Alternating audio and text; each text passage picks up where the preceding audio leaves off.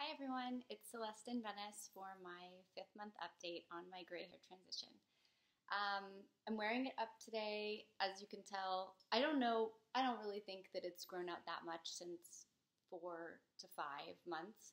I felt like it was a huge shift from like looking at myself in the mirror from two to four months. That was a big deal. So I'm thinking probably at the six month, it'll be like here and it'll feel noticeable again to me but I am really enjoying the color. I'm really enjoying like how rock and roll it looks and I'm just enjoying feeling comfortable in my skin to the point where I don't even notice that, you know, I have roots. I don't really care anymore. And that feels really good because in the beginning there was so much insecurity getting used to that idea of like, oh God, like everybody can see them and as much as I wanted to make the transition, it was hard to break free of the stereotypes that people place on you if you, you know, like let yourself go, if you don't dye your hair. So there's that. I also wanted to report that I went to the hairdresser. A few of you, if you've watched my earlier videos, I spent a long time in a video lamenting over the brassiness of my hair. You know, it's not the gray that's really growing in, it's that when you stop dyeing your hair cold turkey, you're you're not dyeing your hair anymore. And so there's this like terrible orangutan orange color that started to come through. And so I went to the hairdresser and I asked her if there was anything that she could do for me to tone it down without affecting the gray.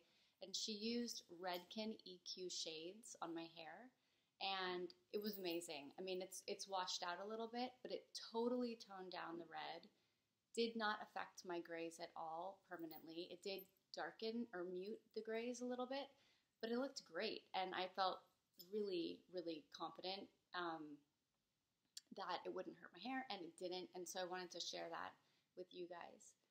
Um, the last thing I have to report is so I'm recently single and I'm starting to date. And when I was talking to my girlfriend about going back into the dating world, the first thing she said was, So are you going to dye your hair now? Are you going to do your roots? And I totally understand and I wasn't offended. Um, and she is, this was not from like a rude, this was, she did not mean to be rude. She loves me. She's an amazing person.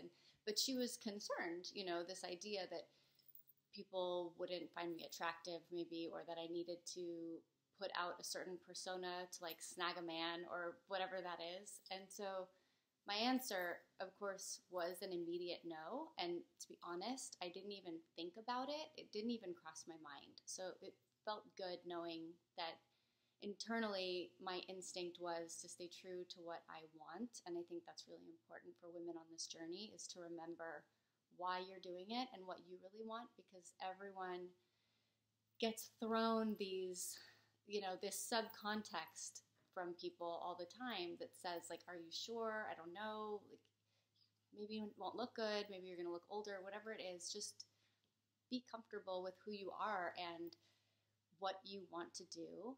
Ultimately, ultimately, my answer was no, I'm not going to dye my roots because it's important when you're going through life, and especially when you're going to put yourself out there to date that you are authentic. There is no point in dating anybody to make them like you if you're not being you. And so, no, I'm not dyeing my roots. I will date like this and it'll all be great because ultimately we're more than our hair. And the most important thing in life is walking through it sure footed in who you are so you can attract like minded people. And so I just thought I'd share that. I don't know if that's happened to anyone else. I know Elisa in Montreal has done a little video. All of her videos are amazing of um, how it didn't make a difference at all when she started dating. And I'd like to know what you guys think. How do you guys feel about that?